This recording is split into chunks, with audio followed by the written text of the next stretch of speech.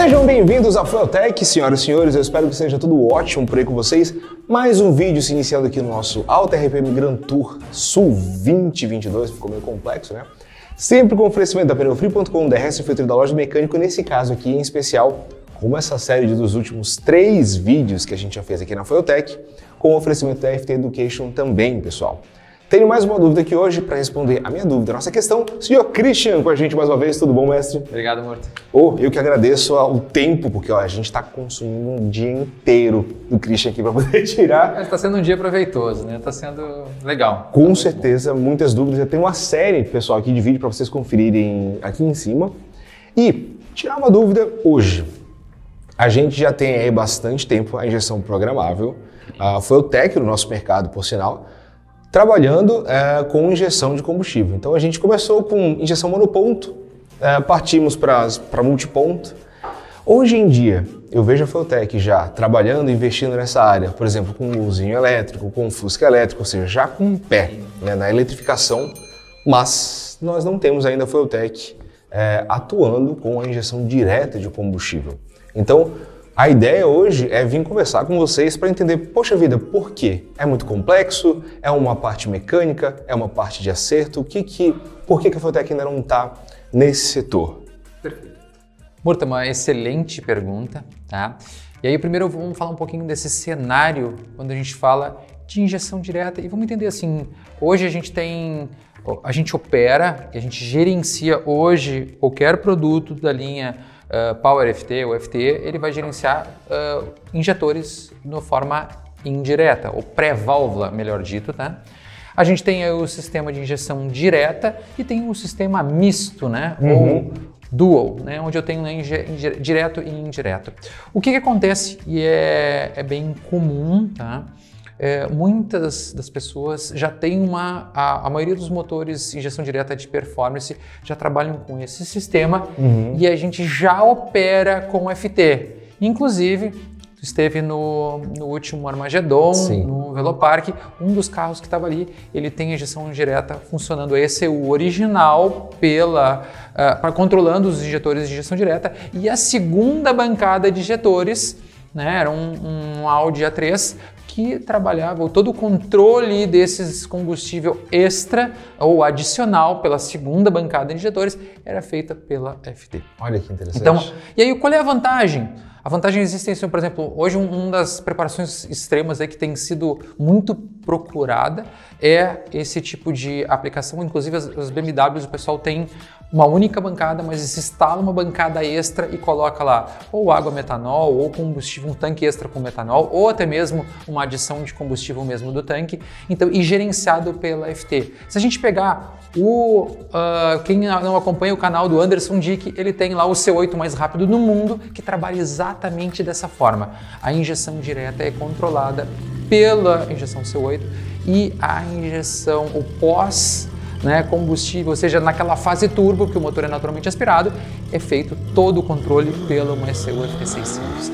Então, existe a possibilidade de trabalhar com Fueltech? Existe. Aí, mas a tua pergunta foi entendida. Eu consigo gerenciar a injeção direta pela FT? A grande dificuldade disso, Murta, não está em acionar o injetor, em aplicar um tempo de injeção, porque isso a gente já faz um, teria uma pequena diferença no driver de potência, e o driver de potência é um pick and hold específico para trabalhar com gestão direta, que trabalha com uma tensão um pouco mais elevada, mas isso não é uma coisa que seria a dificuldade. A maior dificuldade para operar nesse sistema está aqui, ó. Normalmente esses motores eles têm uma bomba de baixa, que é uma bomba que vai levar o combustível do tanque até a bomba de alta. Essa bomba de alta ela tem aí um, um processo de elevação da pressão através de três êmbolos em série, que pode chegar aí em torno de 300 bar de pressão de combustível. Então vai operar lá na marcha lenta com 30 bar e vai chegar a 300 bar. Imagine o seguinte, que a gestão do, da vazão de combustível não é feito somente pelo tempo de ação, e sim pela variação de pressão do combustível que é entregue e, consequentemente, vai produzir um aumento de vazão de combustível. E esse processo ele é, é relativamente complexo por uma série de etapas, na minha opinião. Não quer dizer que a gente não esteja desenvolvendo, não esteja trabalhando, mas esse nível de complexidade de criar algo aberto é diferente de uma injeção que tu vai que está fechada, né? E aí tu não precisa, tu cria a solução e ela não precisa ser programado por pessoas, como acontece com uma injeção de linha, uma, esse é o original. A gente tem que ter uma, um caminho ou uma solução que seja muito fácil das pessoas executarem. E esse é o processo mais complexo tornar uma informação difícil, tornar uma gestão, uma gestão difícil, difícil né? em algo simples e tácil, né? Uma coisa que tu consiga tocar, ver, mexer e gerar isso aí como solução. Que eu estou tentando entender o que você está falando. Uh, a gente tem então no caso hoje em dia a gente tem uma um dosador um para um, quando a gente okay. fala do motor né, de linha leve e tudo mais. Perfeito. Uh, e a gente trabalha ali, a gente tem essa noção da pressão do combustível que aumentar com o trabalho, principalmente em milissegundos. Uhum. Tô, tô acreditando, pelo que você falou, que a dificuldade aqui é no bico injetor da injeção direta, a gente vai ter uma, um certo range ali para trabalhar Sim. com os milissegundos de injeção do bico, de abertura, pulsação do bico se trabalha muito pouco com o tempo de ação em milissegundos e se trabalha muito com a variação de pressão. É isso. Então, essa é a questão. Então, na, na verdade, seria a complexidade de casar. Ah, beleza, eu vou mexer agora num, em, em como é que eu vou conseguir aumentar a vazão da bomba de alta com o casamento do milissegundo do bico injetor. Exatamente, e são etapas interessantes porque é complexo de desenvolver, talvez é, seja mais complexo de, da pessoa entender para operar e a gente ainda tem que ter a parte de educação, fazer com que a pessoa se sinta confortável de usar essas funções.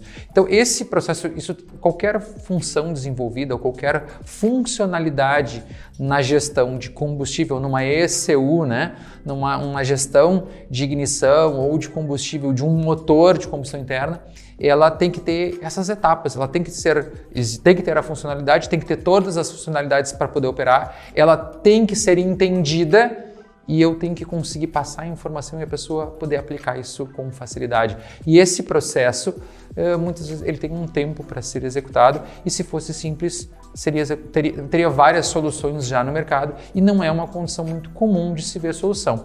E aí a gente tem que tentar ver um outro cenário, né?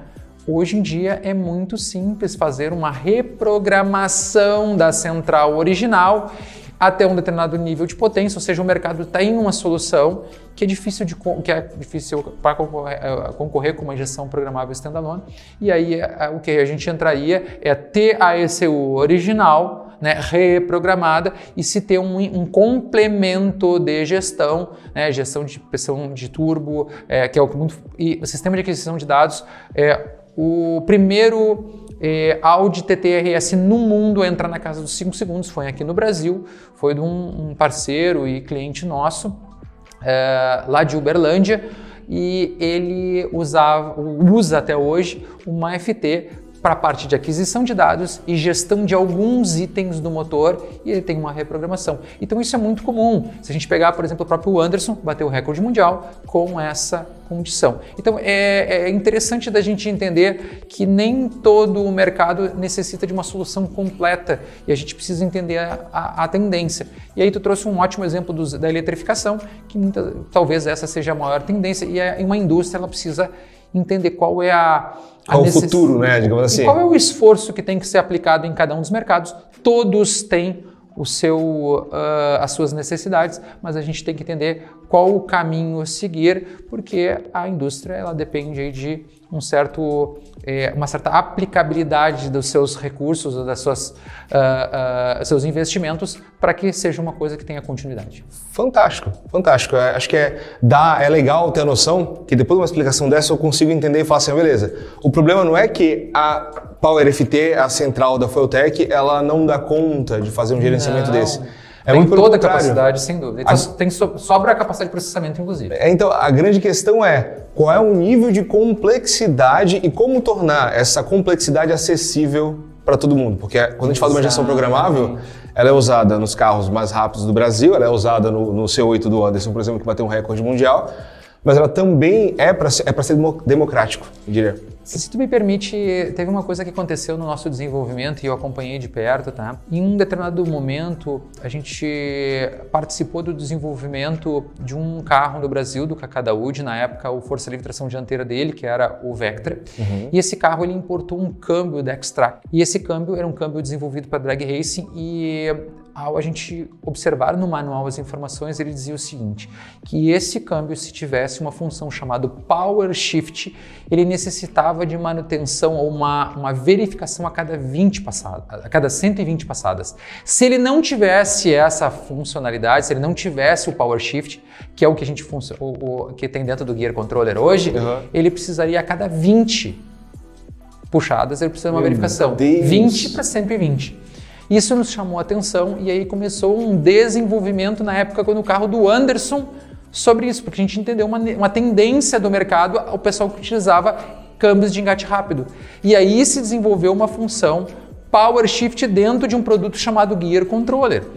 E o mais complexo não foi desenvolver a função, ela estava funcional muito rapidamente, mas foi, foi tornar essa funcionalidade acessível, usável, né? acessível, a informação ser fácil e não uma coisa a ponto de ser de engenharia, mas ser uma ponto de, de, de um mecânico, de um preparador poder aplicar aquela função de maneira simples e eficaz para facilitar o processo de desengranamento e engranamento das marchas com engate rápido. Então, isso é um pequeno exemplo de desenvolvimento que a gente passou e demoraram-se, se passaram durante esse processo mais de um ano. Então, o que acontece? E o nível de complexidade era muito mais baixo. Quando a gente fala de uma funcionalidade aí de controle ou gestão de um motor com injeção direta, esse processo ele com certeza é mais complexo. É sensacional a explicação, porque você estava falando inclusive das vias, né? Que você tem um pistão trabalhando ali, depois entra um outro pistão multiplicando o que o primeiro pistão estava fazendo na bomba de alta. É, nesse, aqui. né? nesse, nesse exemplo aqui. Uh, então, pessoal, entra uma complexidade é, que é isso. Eu acho que eu entendi o ponto aqui do leva tempo até tornar acessível. Exato. É, acessível, como é que você vai usar isso gerenciar isso de uma maneira que seja tranquila para o mercado. É, e acessibilidade é uma coisa que é uma das características da Feltec sempre foi, né? Exato. É acessível em termos de valores e ter que ser acessível em termos de usabilidade. E ter uma coisa, eu acho o melhor termo em inglês, o friendly, né? É. amigável, uhum. eu acho que é, uma, é um grande desafio para qualquer desenvolvedor quando se fala aí de, um, de, um, de uma determinada função de, e, e essa função tem um nível de complexidade bem elevado. Sensacional. Mestre, eu queria te agradecer pelo seu tempo tempo mais uma vez. A gente vai deixar o Cristian descansar um pouquinho agora, mas eu queria lembrar vocês, esse material aqui está chegando para vocês, como sempre, com oferecimento da Penofree.com, da Hesselfield Loja Mecânica e também da FT Education e da Fueltech, porque o nosso trabalho aqui, acho que se assimila muito o meu nível técnico está lá no pé da mesa, eu estou falando com a pessoa que está ensinando ah, muita gente aqui, mas... Eu sou fã do canal dele, inclusive dei várias uh, informações, dei, dei vários uh, retornos e feedbacks sobre vídeos que eu assisti.